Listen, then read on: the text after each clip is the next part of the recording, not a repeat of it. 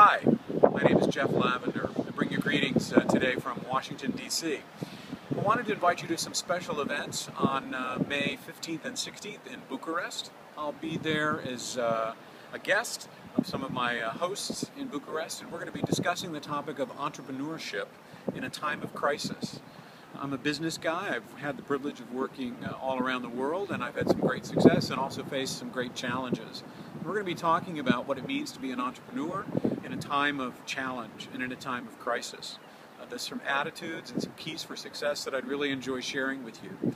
So along with this video, you'll find an email, and in that you'll find the details of when and where these events will be. I hope you'll come and join us. I look forward to meeting you. Uh, once again, thanks for your attention. Hope to see you soon. Bye-bye.